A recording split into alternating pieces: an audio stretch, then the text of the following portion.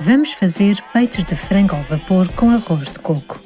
Vamos precisar de uma courgette pequena, 100 gramas de cenoura ralada, 3 cubos de tempero de alho e coentros Knorr, uma colher de sopa de vaqueiro, 4 peitos de frango, 4 cilindros de leite de coco, 3 decilitros de água, 2 tiras de casca de limão, 4 sementes de cardamomo, 250 gramas de arroz basmati e sal. Elimine as pontas das courgettes e rale-as em fios no crivo mais largo do ralador.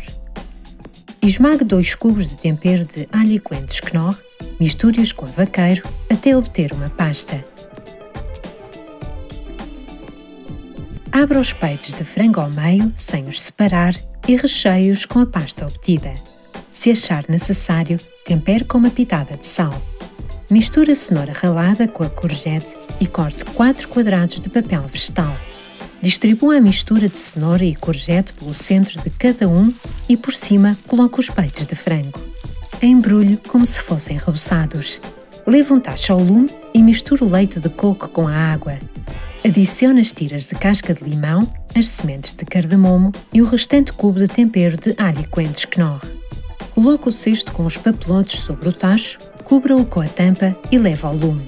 Deixe ferver por cerca de 8 minutos. Introduz em seguida o arroz, mexa e volta a colocar o cesto com os papelotes sobre o tacho. Deixe cozer durante mais 15 minutos. Abra os papelotes e corte os peitos de frango na diagonal. Sirva o frango acompanhado com os legumes e o arroz.